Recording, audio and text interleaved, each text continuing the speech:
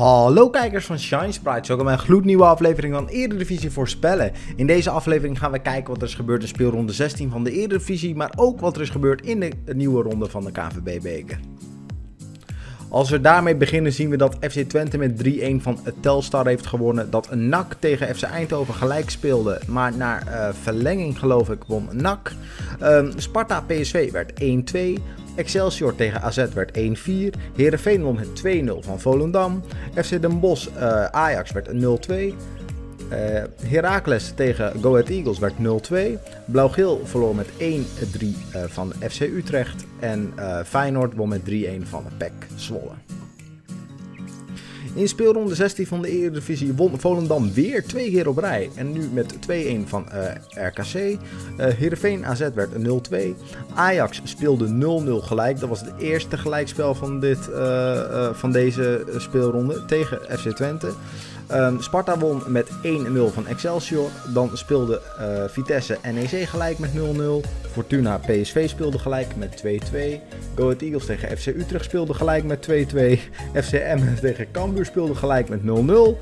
En dan hebben we nog Groningen Feyenoord. Dat werd 0-3.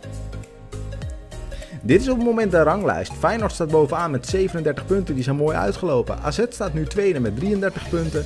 Ajax en PSV hebben 32 punten. FC Twente staat vijfde met 31 punten. Sparta staat op de zesde plaats met 28 punten. Dan komt FC Utrecht met 26 punten. Heerenveen op de achtste plaats met 24 punten. Dan komt NEC op de negende plaats met 19 punten. Ook Go Ahead Eagles heeft 19 punten. RKC heeft uh, 18 punten en staat op de 11e plaats. Fortuna en Excelsior hebben 16 punten. Staat 14e met 15 punten. Groningen en FC Emmen en Volendam hebben 12 punten. En Cambuur staat laatste met 9 punten. Dan is dit de voorspellers top 8. Tenminste, op nummer 8 stonden drie mensen. Dat heb ik even niet gedaan, want dat is te veel voor op het scherm. Colino staat nu bovenaan met 137 punten. Dan kom ik zelf met 136 punten. Joey staat derde met 134 punten. Dan komt Sven met 133 punten.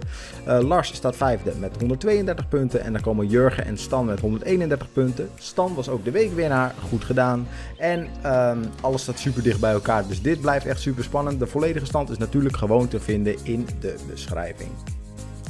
En dan gaan we weer 9 wedstrijden voorspellen voor speelronde 17 van de Eredivisie. Excelsior moet thuis tegen Volendam. NEC ontvangt FC Emmen. Cambuur moet thuis tegen Sparta. PSV moet in Eindhoven tegen Vitesse. RKC ontvangt Go Ahead Eagles. Heerenveen in de Noorse derby tegen FC Groningen. Um, FC Twente ontvangt FC Utrecht. Feyenoord in de klassieker in de Kuip tegen Ajax. En AZ ontvangt als laatste op zondagmiddag Fortuna Sittard. Ik wil je bedanken voor het kijken van deze aflevering. Vond je het een leuke aflevering? Doe een duimpje omhoog. Dan zie ik je graag bij de volgende keer weer. Adios, amigos.